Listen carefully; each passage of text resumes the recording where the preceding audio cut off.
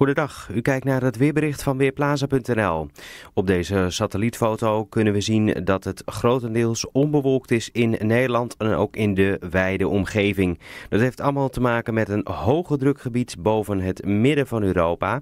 En ten westen van dat hoge drukgebied wordt zeer warme lucht naar Nederland toe aangevoerd.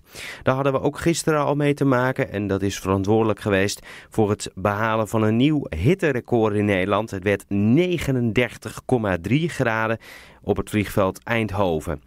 Vandaag gaat de temperatuur opnieuw heel hoog oplopen.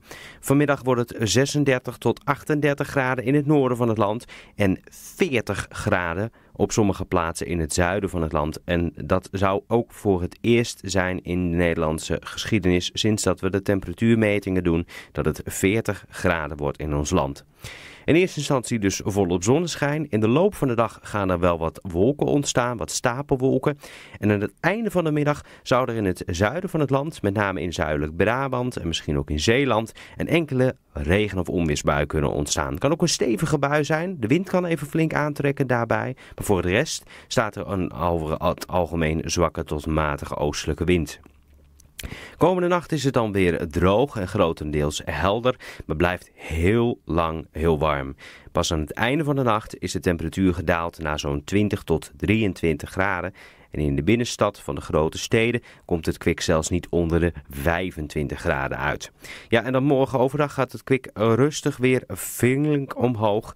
Aan het einde van de middag is het 34 graden in het noorden tot 38 of 39 graden in het zuiden van het land. Opnieuw aan het einde van de dag in het zuiden kans op stapelbewolking. En in de nacht naar zaterdag dan zouden de eerste regen- en onweersbuien al over het land kunnen gaan trekken. En dat gaat zaterdag overdag op meer plaatsen gebeuren. Waarschijnlijk in het noorden en noordoosten blijft het nog wel grotendeels droog. Daar ook de hoogste temperaturen, nog steeds tropisch warm, maar lang niet zo extreem meer als dat we nu zien. 30 of 31 31 graden wordt het. In het zuidwesten is het met 23 graden echt fors afgekoeld. Op zondag zal, die koele lucht langzaam verder gaan uitbreiden. Wordt het 22 tot 25 graden in de zuidwestelijke helft van het land. En nog 27 tot 29 graden in het oosten en noordoosten. Op maandag ook kans op een paar buien en dan 23 tot 25 graden bij een matige westelijke wind.